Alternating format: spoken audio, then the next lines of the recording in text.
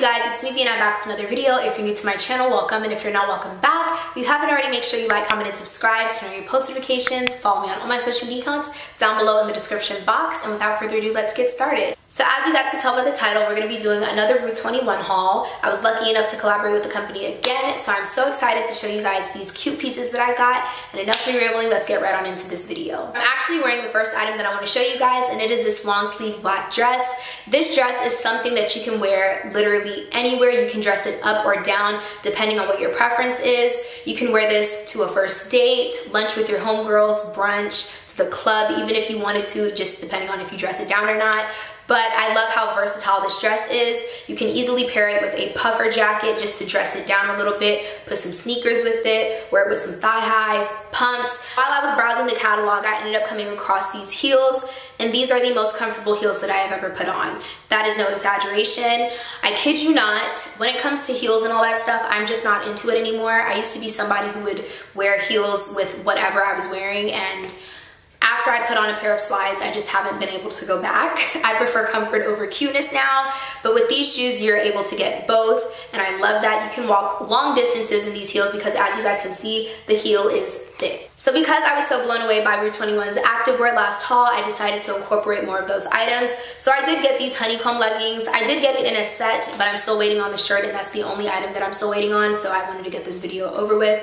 But you guys get the idea. It's a matching set. It comes in a t-shirt and tank top. The back has the ruched details and like I already mentioned, ruched makes you look thicker. So any item that is ruched is probably going to make you look thicker and the fact that these are black, it definitely slims you out as well. And not only is it just cute, it's very comfortable. So if you are looking at like the viral leggings and stuff like that, you can check out Rue 21's activewear and you will get the same effect. Now that spring is officially here, I wanted to get clothes that were more in season color-wise and I got this top. You can tie it in the front. I think it is the cutest thing ever. It has yellow flower detail on it and I just think these colors together just scream spring. So in my last haul, I ended up getting a top that was more like scarf style and I wanted to keep that up because I think the pictures are just amazing. So I ended up getting this pink silky top. It just gives doll, it gives brats, and the look that I'm going to serve with this is amazing.